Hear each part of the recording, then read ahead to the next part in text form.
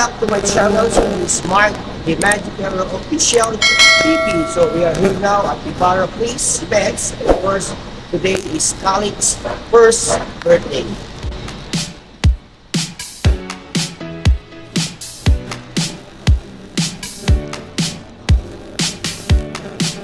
It's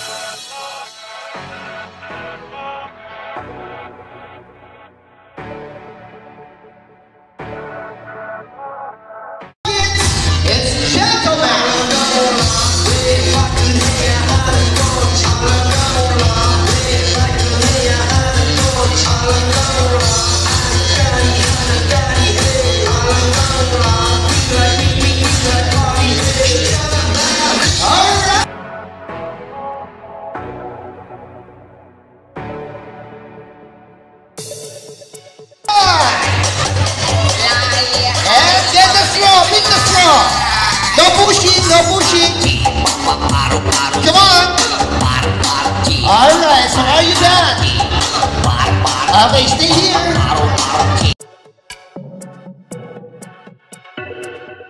Super great event management at sa Plaza Ibarra, especially kay Miss, Anna na nag-ano sa amin, nag-handle sa amin para maging perfect yung birthday ni baby. At saka dun sa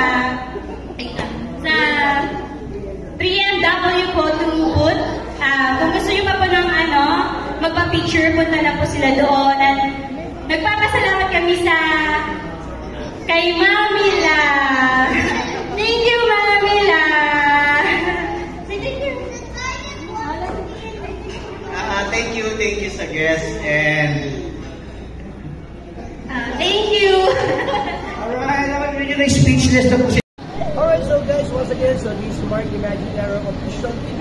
And of course, this is Khalid's first birthday. So this time, nandito po si Daddy Kevin to give some feedback regarding my show. So, ah, yun nga, ah, thank you nila kuya. Ah, the party was fun and um, na-entertain lahat ng guests and um, what else? Yes, how about, how about the magic show, Daddy? Oh yes, yes, yes. Uh, we enjoyed the magic show, especially the kids. Na nag-enjoy lahat ng mga bata sa magic show. And that's all, ma. Thank you so much, Daddy Kevin. And of course, happy birthday, Khalid. And this is Mark, the Magic Hero Official TV.